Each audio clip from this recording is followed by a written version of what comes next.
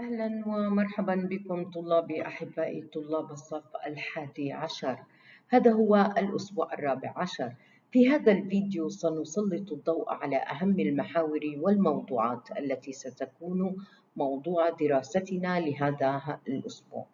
وكما قلنا سابقا ستعتمد في هذا الأسبوع على مهارة البحث والتوثيق حيث ستكون هناك مهمة بحث في موضوع الوحدة الوطنية.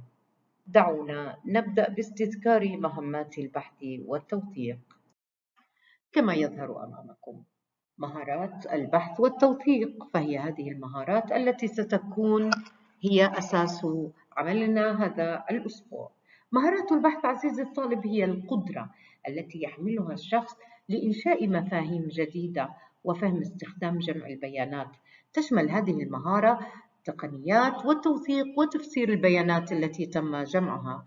ومن ثم وضع الفرضيات. هذه المهارات ضرورية لتطوير معرفتنا وأيضا تعزيز هذه المعرفة. عند القيام بمشروع بحثي يجب عليك أن تمتلك مهارات مهمة لضمان نجاح هذا البحث ولضمان دقته. من أولا مهارة إدارة الوقت. إدارة الوقت هي مهارة بحثية أساسية تساعدك على تقسيم عملك إلى أجزاء يمكنك إدارتها بسهولة وبالطبع يجب أن تضع خطة موجهة نحو بحثك وتعيين الوقت لكل مهمة من المهمات الجزئية. مهارات الاتصال عليك أن تفهم المعلومات وتتلقاها بشكل صحيح وتسمح الفرصة آه، للمشاركة مع الآخرين بطريقة فعالة وبطريقة مفيدة. الاستماع والتحدث الفعال هي مهارات حاسمة للتواصل القوي. حل المشكلات وتقسيمها إلى أجزاء صغيرة. بمجرد فصلها إلى أجزاء يمكنك البدء بالتفكير في كل عنصر وتحليله. جمع المعلومات والاهتمام بالتفاصيل المعلومات ذات الصلة. هي مفتاح تصميم البحث الجيد. سيساعدك البحث على آه، أن تصل إلى موارد موثوقة تجمع المعلومات من هناك على تعزيز اقتراح البحث الخاص بك ويدفعك إلى الحلول بشكل أسرع بمجرد أنك آه، توصلت إلى المعلومات. و من الضروري إلى اهتمام بذلك. كما يظهر أمامك عزيزي الطالب الإسلام والوحدة الوطنية.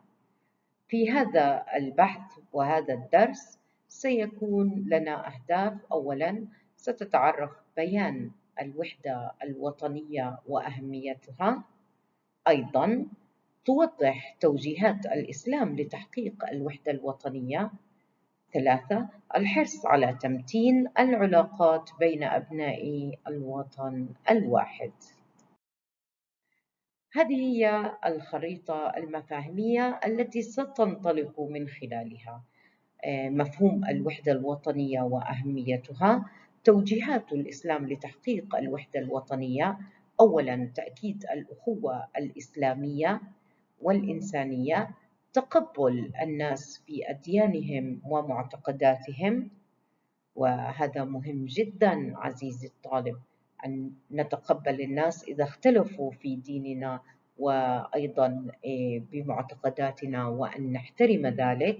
محاربة كل صور التعصب والعنصرية بجميع أشكالها آه، العنصرية عنصرية آه، الجنس عنصرية اللون عنصرية الأصل عنصرية الدين عنصرية بجميع أشكالها هي مرفوضة بالإسلام ستدخل في هذه التفاصيل في خلال بحثك.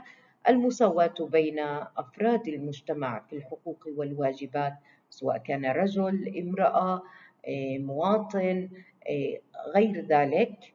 أيضا السعي إلى تحقيق التكافل بين أفراد المجتمع.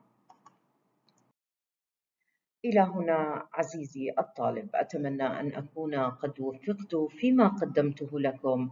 طاب نهاركم بكل الأمل والخير والبركة.